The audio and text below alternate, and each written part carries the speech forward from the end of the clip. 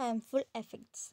Apart from sucking blood and causing irritation, Pediculus serves as a vector for several pathogens. It plays a major role in the spread of epidemic typhus fever, relapsing fever, trench. The germs of typhus and trench fever get into human body when man rubs the contaminated loose feces over skin. The germs of relapsing fever are introduced to the human body when man crushes an infected louse and then scratches over skin with contaminated nails. Prolonged louse bite often causes van bond diseases characterized by deep local pigmentation and itching of the skin, particularly around the neck and on the back.